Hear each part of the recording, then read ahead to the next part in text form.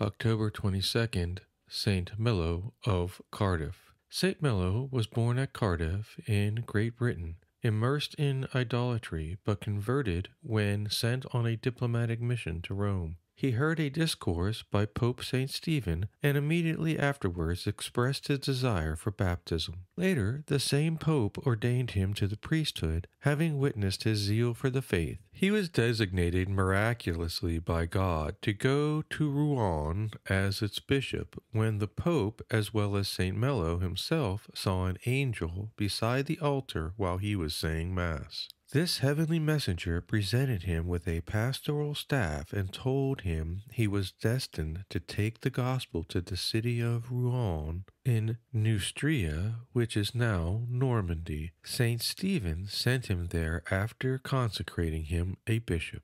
Many miracles are attributed to him. One such is when he cured the injured foot of a carpenter by touching his pastoral staff to it. The artisan himself and all the witnesses to this cure were converted. Then blind persons and paralytics were brought to him, and he cured them by his prayers offered in the name of Jesus Christ. Several of his converts would later shed their blood for the faith.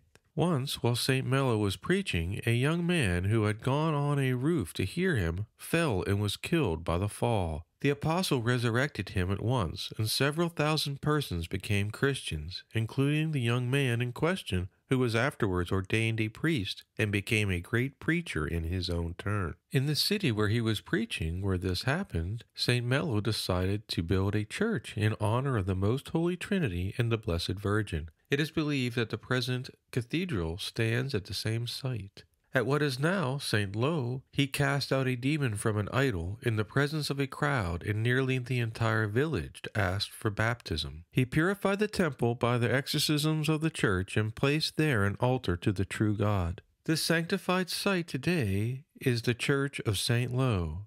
The holy bishop continued to bring souls to the truth during a long episcopate, and he died in peace in the year 311, having governed the see of Rouen for forty years. A spring at Héricourt, where the saint once baptized, is still visited by parents with sick children who plunge them into the water of this fountain of St. Mello.